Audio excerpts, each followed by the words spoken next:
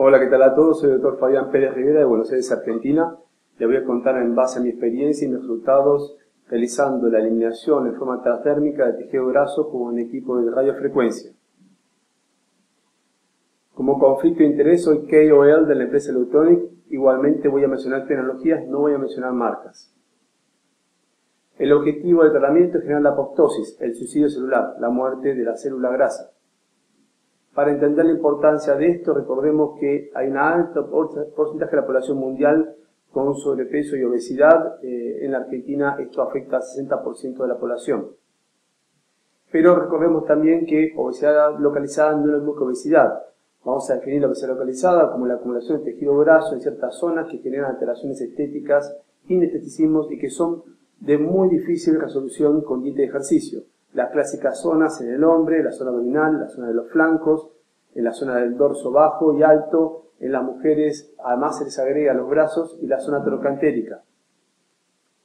Y esto se debe a fundamentalmente dos tipos de receptores grasos diferentes que tenemos en el cuerpo, los alfa-2 receptores que son genotipos dependientes, tienen respuesta antilipolítica por respuesta a la dieta y por lo tanto las zonas como abdomen, flancos y trocánteres son de muy difícil resolución mientras que los beta-1 receptores son fenotipos dependientes, significan durante el pasaje de la vida, tienen buena respuesta lipolítica, buena respuesta a la dieta y ejercicio, y las clásicas áreas son el rostro, los brazos y la espalda.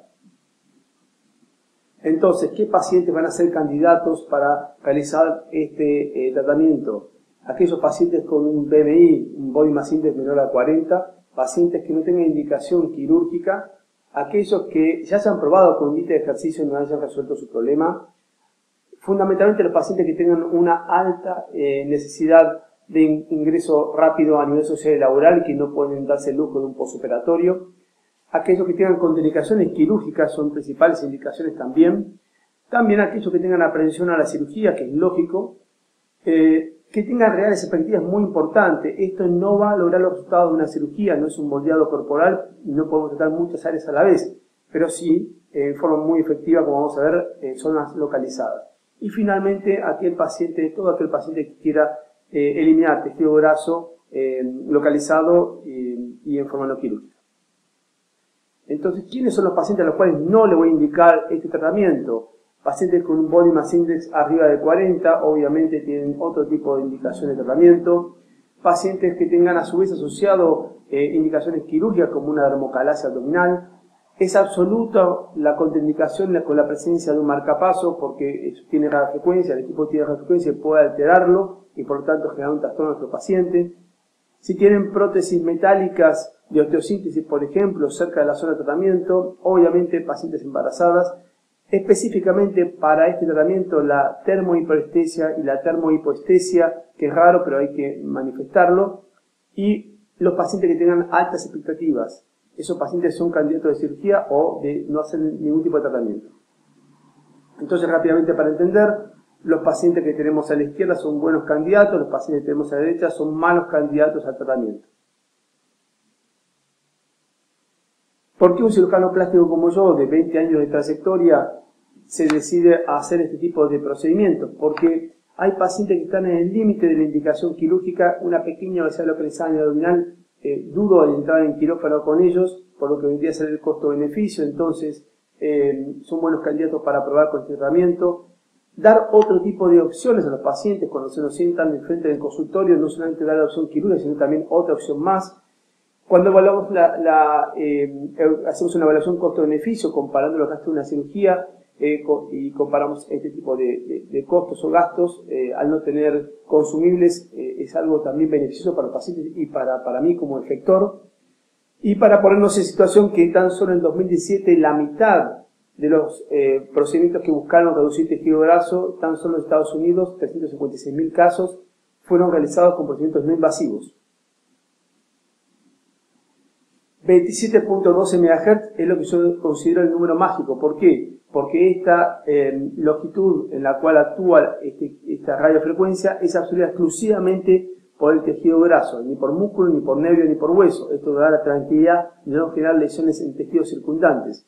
A su vez, la acción es solamente a 15 milímetros de profundidad, por lo tanto, tampoco vamos a entrar el tejido graso a nivel visceral, evitando así complicaciones. Eh, El otro número clave son los 300 watts de potencia. Es el número necesario, la, intensidad necesaria para generar un incremento de la temperatura en el tejido graso cercano a los 45 grados centígrados y así llevarlo a la apoptosis. En sí, la apoptosis, como dijimos, es el suicidio celular, programarlo para que la célula grasa se muera. Eh, una vez que el tejido graso absorbe la radiofrecuencia, ingresa en fricción, esa alta fricción genera aumento de temperatura, como digo, 45 grados centígrados, esto genera una desnaturalización del tejido graso, nuestro sistema macrofagocitario lo va a conocer como extraño, lo va a digerir, lo va a comer y va a tardar unos 15 30 días para eliminarlo por vía linfática y finalmente ser excretado por vía renal. El equipo que utilizo tiene una superficie de ataque muy importante, son 77 centímetros por 20 centímetros, un total de 0.16 metros cuadrados. Acá vemos el tamaño. Por lo tanto, en una animación podemos aplicar, por ejemplo, en zona abdominal y zona de flancos, eh, cosa que eh, también optimizamos el tratamiento y el tiempo de tratamiento. No tiene consumibles, el resultado es homogéneo, no es operador dependiente, siempre va a ser exactamente igual en todas las sesiones y es libre de dolor. Las complicaciones son escasas, las vamos a mencionar. Tuvimos cuatro casos de paniculitis en 90 pacientes. Esta paniculitis es la induración no infecciosa del tejido graso. No se hace nada, simplemente se espera su evolución en un periodo de 7 a 10 días, sin medicación que suele forma espontánea. Es simple el tratamiento, la curva de mensaje también es muy simple, es delegable, por lo tanto, pues está hecho a prueba de errores, gracias a este sistema, se llama PISA, sistema PISA, y vamos a ver de qué se, de qué se trata.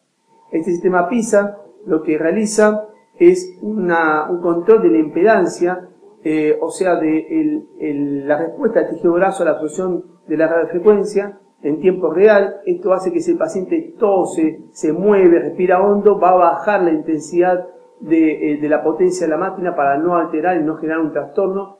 Y si a su vez el paciente toca la placa, el equipo se va a resetear, se va a apagar y va a volver a encender tantas veces como sea necesario para evitar, por ejemplo, quemaduras. Dentro de las características, el paciente ingresa rápidamente a nivel laboral y social, o sea, no hay un post, eh, no necesita eh, hacer dieta ni ejercicio, eso es fundamental también remarcarlo para no hacer trampa otros al tratamiento.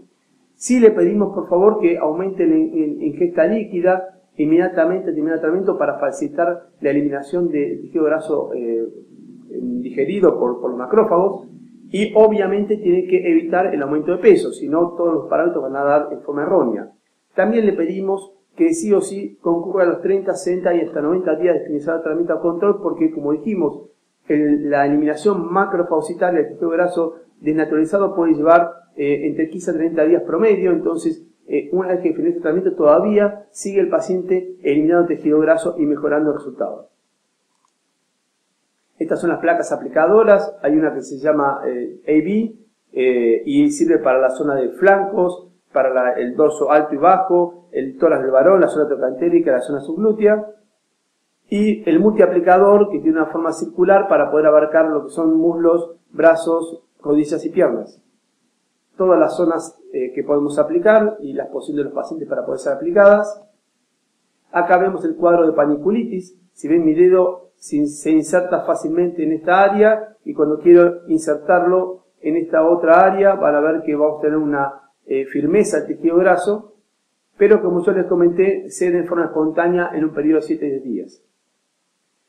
Esto fue lo que a mí me llevó también a seguir investigando y eh, optar por radiofrecuencia, las complicaciones de la criolipólisis, donde encontramos dolor, disestesias prolongadas que pueden durar meses, eh, cristalización del tejido graso donde se pone indurado y puede durar también muchos meses. Hay publicaciones ya en, en, FDA y en publicaciones científicas de estas complicaciones.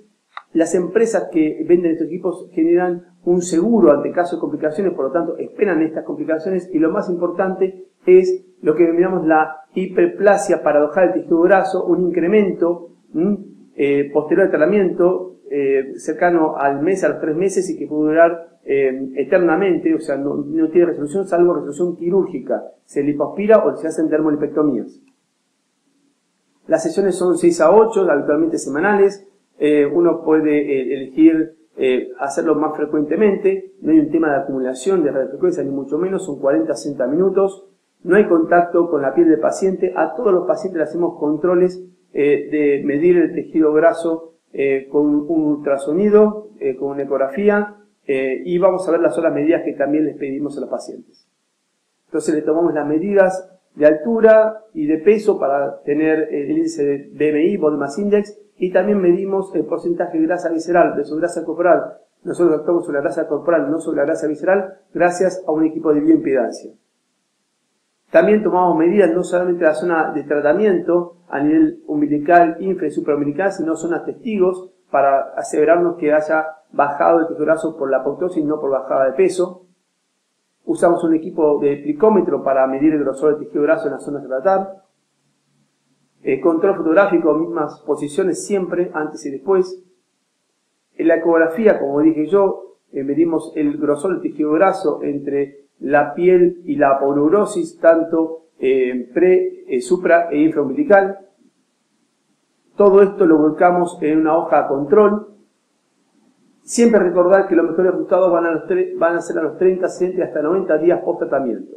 Entonces empezamos a ver nuestros resultados, paciente con 5.5 centímetros de reducción y apenas 2 kilos de reducción para que ustedes vean cómo baja el pliegue en la zona de flancos altos y dorso. Acá vemos el mismo resultado, 8 sesiones en total. Esta chica más joven, 5 centímetros de reducción en la zona de los flancos. Y vean este intenso pliegue y cómo el pliegue ya ha desaparecido. Siempre hay que recordar que estos resultados son permanentes una convexidad bilateral a una concavidad bilateral, 3.5 centímetros de reducción y con 2 kilogramos de reducción. Este varón con 13 centímetros de reducción a nivel abdominal, con 5.5 kilos de pérdida de peso, 7 sesiones y lo que es más importante, el control de los 60 días y el control a los 17 meses manteniendo el resultado otro varón con exceso a nivel de los flancos y cómo podemos mejorarlo y que se ve mucho mejor en la imagen perfil sentado donde ven este colgajo de tejido graso sobre la zona de inguinal y cómo ha sido reducido. Este es mi mejor caso. ¿Y por qué lo manifiesto como mejor caso? Porque tiene 4.5 centímetros de reducción y con cero pérdida de peso. Miren este abdomen, miren este abdomen, miren cómo ha bajado su tejido graso abdominal. Este paciente es mi hermano en eh, octubre del año pasado estuvimos en las playas eh, de Ibiza y así estaba él en ese momento. Eh, llegó, le hicimos un tratamiento de 8 sesiones, bajó 4 centímetros, que apenas perdió un kilo y medio y acá lo ven en las playas de, Tailandia con su mejor perfil. Y acá viene el control de este paciente, mi hermano, donde hicimos una reducción de 5 milímetros. Eh, pero 5 milímetros en todo el perímetro abdominal marca una reducción final de 4 centímetros. Esto ya lo tengo publicado eh, en una revista argentina de linfoflebología, soy también linfoflebólogo. Pueden bajar de forma gratuita el trabajo de mi página. Y eh, para enfatizar que los pacientes que hicieron 8 sesiones obtuvieron mejor reducción que los que hicieron 6 sesiones. Estamos hablando de un promedio de 1.93 contra un promedio de 2.42 centímetros. Por lo tanto, a mayor cantidad de decisiones, mayor cantidad de reducción.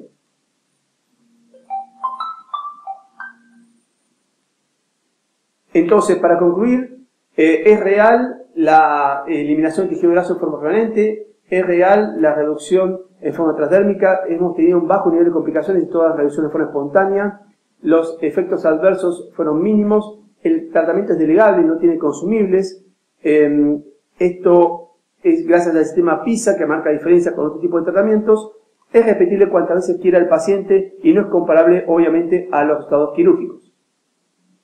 Muchas gracias por su atención.